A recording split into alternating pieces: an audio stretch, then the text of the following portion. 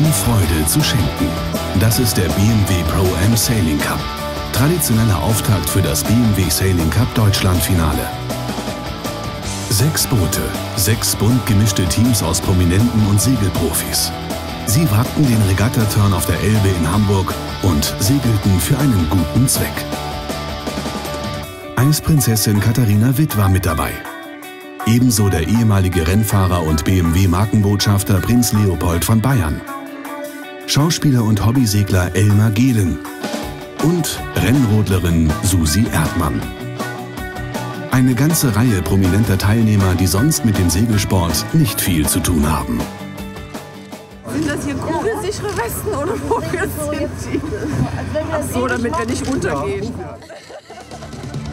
Obwohl oder vielleicht gerade weil viele der prominenten Teilnehmer zum ersten Mal das Segelabenteuer wagten, war der Spaßfaktor für alle Beteiligten groß. Und auch das Wetter spielte mit. Herrlicher Sonnenschein und vier Windstärken sorgten für beste Segelbedingungen. Für jeden Punkt, der von den sechs Teams im Verlauf des Nachmittags ersegelt wurde, spendete BMW 200 Euro für die World Childhood Foundation. Insgesamt kamen somit 10.000 Euro zusammen.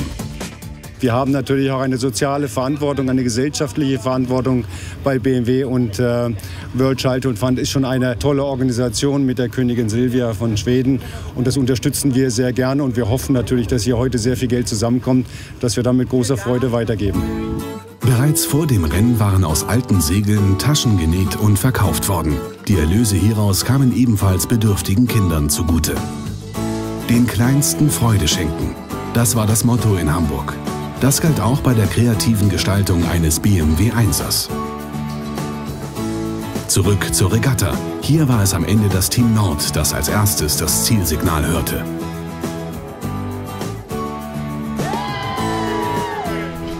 Ich glaube, wir haben gewonnen.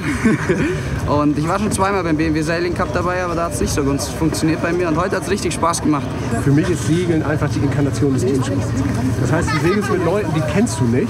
Und du gehst als Freunde so ungefähr von Bord. Das war wie immer wunderbar. Nicht nur die, die bei der Siegerehrung die Medaillen überreicht bekamen, wunderbar fanden es am Ende alle Teilnehmer.